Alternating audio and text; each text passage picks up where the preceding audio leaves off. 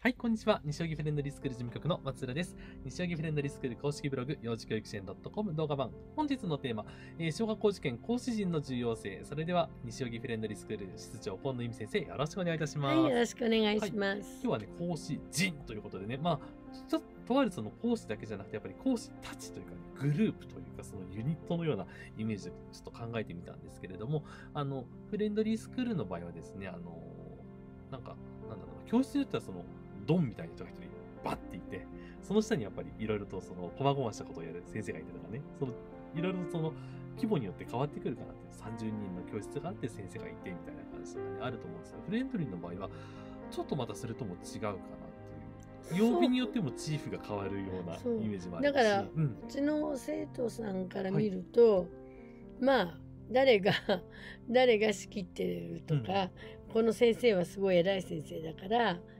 何も言えないとかね、うんそんなん全然ないしあのまあ。一応代表は由美先生ではあるけれど、裏ボスもいますよ、ね、でも実は裏ボスもいるし、と 私は表ボスなんですそうですね。はい。実は知らない裏ボスがいるからね。そう、はい。そのまた裏ボスすごいからね牛耳ってる 私でも怒られるぐらいだからね。そうですね。でやっぱりあのまあそれだからこそねいろんなタイプの先生がいるのかなっていう、もうね書道の先生でも絵画の先生でもあの私より上の先生だったりするから、そうするとまああの私にも好きなこと言いますしね。そうですね。それも私もごもっともですっていうぐらい、でもすごいあのそういうこう上下関係があまりないから、うんうんあのすごく先生たち同士がすごい仲いいんですよねそうですみんな。ね。もう我々にでもその海外の先生なんかね見てくれって言われるからねはい。一生懸命塗りとか見るとね今度は塗りすぎだって怒られるしね そんな先生だったりね書道の先生なんかよく私にのど飴持ってきてくれてねうん先生ね、喉痛めたりすること多いですから、今の時期。そうだけど思いやりがね。すごく、ね。うん。あのもうその先生も書道の先生もとっても偉い先生で子供なんか教えるようなね先生ではないのに、長い年月もフレンドリーの生徒が可愛いのかあの来てくださってね。来てくださってねみんなに本当にみんな字が綺麗なんですよ。だからそういう書道の先生だったりその絵画の先生も実を言えばうちの1期生の1期生ですよ。30何年前の話よ。ね。の1期生のお母さんのママだったんですよ、でもデザイナーですごくいいデザインをする方だったんでね。それがある時ふと西荻で出会ってなんかそうするみたいな感じでうちの園に入ったんですけどまあ最近ですかね。ここ23年。それまで地道に絵画工作ってやってたんですけど最近は皆さんコンペに入賞したり小学生の方ですね。そう学童の絵も教えてくれてるんですよねある時から「え？とか思うぐらいなんか先生いろんなもの持ってくるんですよ。あのねあの持ってくるようになったんですよね作品のバリエーションもすごいユニークになってね。季節性が出てきたりとかね。そうなんですよ。それでみんなあのほぼ全員じゃないかなあの賞をもらったり。小学生はみんな賞を取ってますね。そう塗り絵コンテストだったりね。なんか、あのこの世にないなんとかとかね。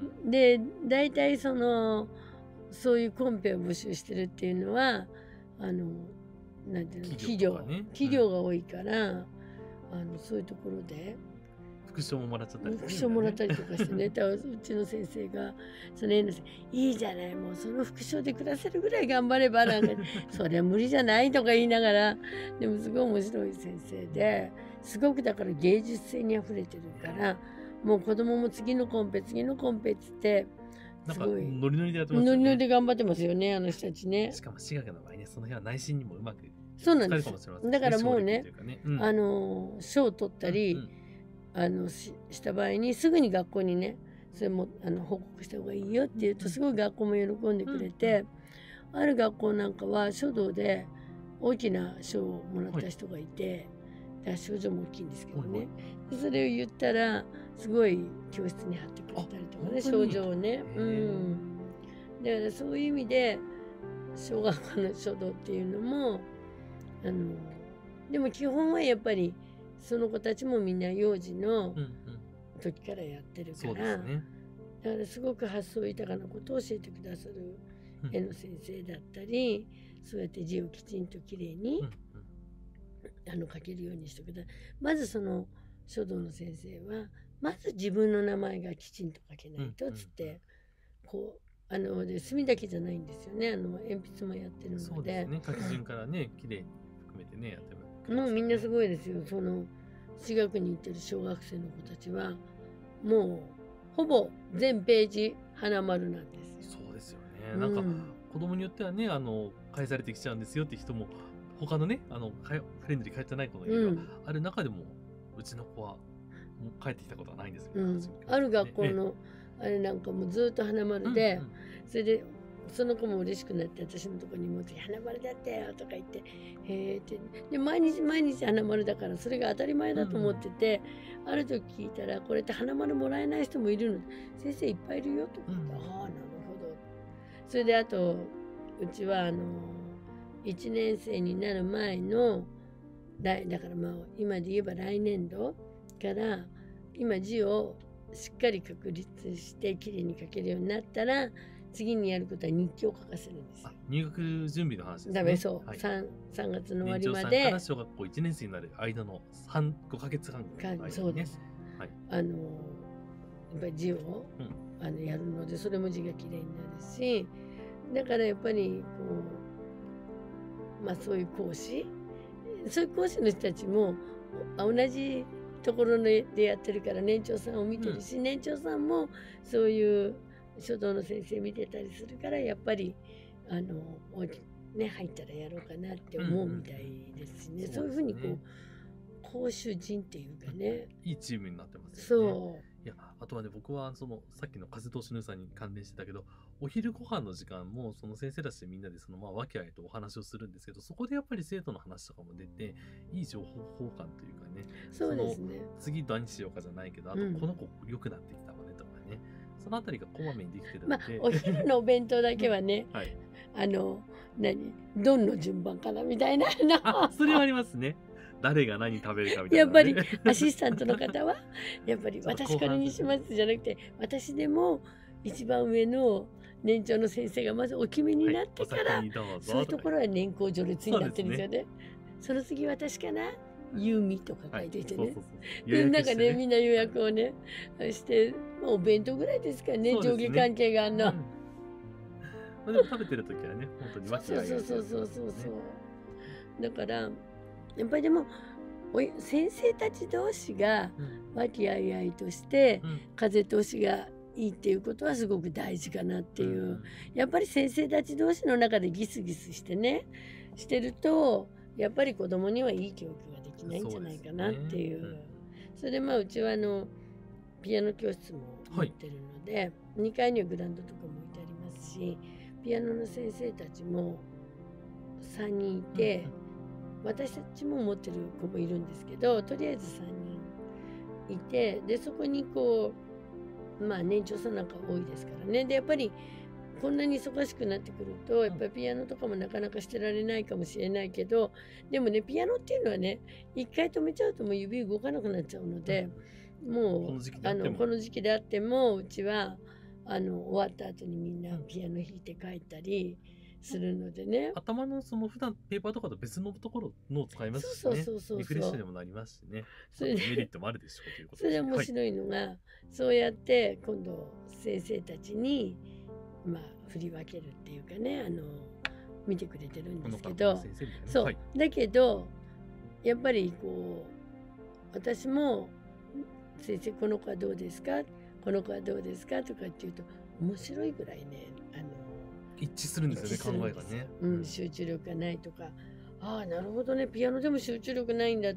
そうか。じゃあこの子にはもうちょっと集中力をつけなきゃいけないとか、そういうこうこの子は音符を見ないで弾いてるということはぜ全然音符を見て脳で反応して手で音を出すっていうこのね。そうあのメカニズムができてないんだなってなると、あじゃあ今度私たちがピアノを見るときにそこを注意しようとかね、そういうまたせピアノの先生たち同士でもそのネットワークっていうのがあって、まあ、それは幼児だけじゃなくてまあ小学生も皆さん合格して一応あの学童になってるので、まあ、皆さん帰ってくるじゃないですか。でもねピアノも小学生になっても同じもうやっぱり音読まないで弾いたりとか考えないで弾いたりっていう子供は勉強もそれはやるんです。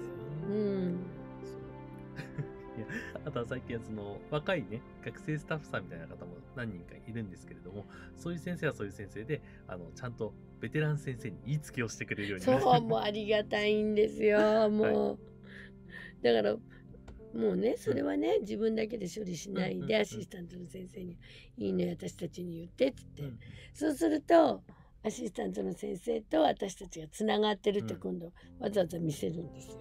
そうすると子供もと思って胃腸に気をつけるというかね。うんだからやっぱりその辺がちゃんとその連携取れてないとあじゃあ若い先生の時は適当にやっちゃおうとかね、うん。優しい先生の時はまあごまかせるなとかそうやって人のねあの人によって分けちゃうようになっちゃうとそれが学校とか今後の人生にも良くそうないので、ね、そうそうそう誰においても同じようにというところをそう。あのやっていくために連携をしっかりとしてると。そう。だからこういうことを言いつけるみたいだから、ん。私たちに言うのは悪いかななんて思われるとこもあるからどんどん言ってどんどん言ってって言うとどんどん最近は言ってくれるので私たちが送ると。そうですね。うんだからやっぱりあの私の理想としてはまあ幼児教室なんてみんな教え方が違うわけだし、まあ、考え方も違うだろうし、っていうのがあるから特にねみあのあれ年長は私とボスと言われている私ともう一人のボスと言われている、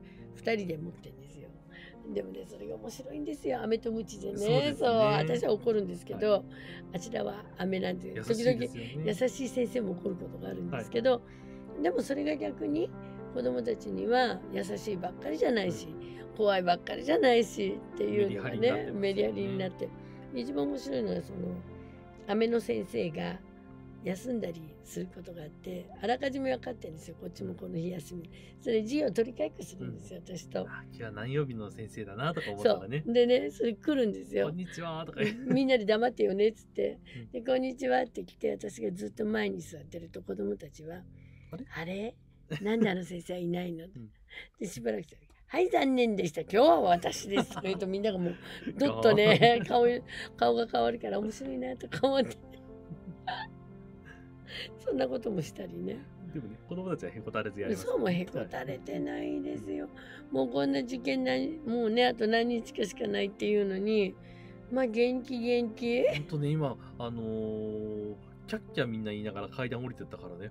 なんだろうこの子たちはとか思って。あ年長さんだったと思って。超元気と思ってそうなんですよ。なんでこんな楽しそうなんだって面接試験だけに行ったって普通疲れるじゃないですか。午前中面接試験は朝早くあった子でも終わったらすぐ来るんですよ、うん。でずっと勉強。ねえ結構この人たちタフだなって私もさすがに思いましたねもう。そういう意味では今年はまあ勢いのある子たち多いかなっていう。いい雰囲気ですよね、うん、うん。でも面白いんですよその。もうさっきお教室内の中でもまあいろいろわからないところがみんな出たりするとある子なんかはじーっと見てるから「そっかあなた OK だったから。じゃあごめんこの子にこれどうしてこうなるか教えて」とか「分かった」とか言ってね。教え方じっと見てるとうまいなとか思ってね。教えることで、ね、理解が定着するところもありますそう。よねで面白いんだけど、あの私は絶対子供にあの答えをどんなことがあっても答えを言って誘導するような教え方はしないんですよ。うん。答えは絶対言わない。自分で考える、まあそれがねやっぱり生徒もそれがやっぱりできるんですよね。あその幼児でもええ。絶対に答えなんか言ってないし、こここうだからこうだよなんて教えてっていうのはそういうふうな意味合いじゃなくてこここうだからこうこういう答えだよっていう言っちゃいますじゃないですか、普通の親でもね、待てずにうん。ね、でもさすがですよ。うちの生徒はうまいなとか思ってねうん見てるんですけどね教え方が。だからまあ私の見てんだろうなっていう、やっぱりねもうあの答えを誘導してそれでさもできたかのように見せるっていう先生結構いるんですよ。うん。うんうん。そううね。ん、で結構大手の幼児教室を長くやってましたとか室長までやってましたとかって前に1回あってでまあうちに来てもらった時があって。でもねそんなことまでしてるんだから上手だろうと思ったら全然そんなことなくてで答えを誘導してそれでその子はまあ分かってないと思うんですけど一応答えまで出して「はい丸ですね」ってやそれはまあよその幼児教室でいいですけどうちは困るんですって答えは言わないでください。本当にちゃんとその子のうん、ね、ものになってないと組織先じゃダメですもんね。そうなんですよ。だからすごくやっぱり答えをこう誘導しちゃうお母さんとか、指導者だったり。あの指導者だったりすると一見できてるように見えるんですけど実はできてない。というね、まあ、そういうやっぱり面も気をつけないと、はいあの何も自分で考えなくなっちゃうっていうでそういう意味でのフレンドリーの講師陣っていうのはみんな心得てるから絶対言わないですよ。から本当それぞれのその目線での気づきもあるから本当に抜けがない感じになってきていいなとは思うう。ん、ねで今はもういろいろねおはい母さんたちと話をしながら、今後かぶっていったものをどうするか試験がねあ、日程の話かな、日程東京ドラマね。ってはい。た場合はどうするかって話し合いはしてますね本当。日々戦略ってはい感じですけどもね。はい、ありがとうございました。はいありがとうございました。ねあと2週間ですからね、なんかだんだんカレンダー見ると、おおってなんかドキドキしてきました。はい。でも2週間もあります2週間も、まなるほどね。まだそこまで切羽2週詰まってないんで。間しかではないんですね。うんはい。ということでした。はい。さあ、えっ、と、受験近づいてまいりました。面接特訓やね、あの、ビジタークラスじゃなくて、えっと、壁しか、壁サービスもぜひご活用ください。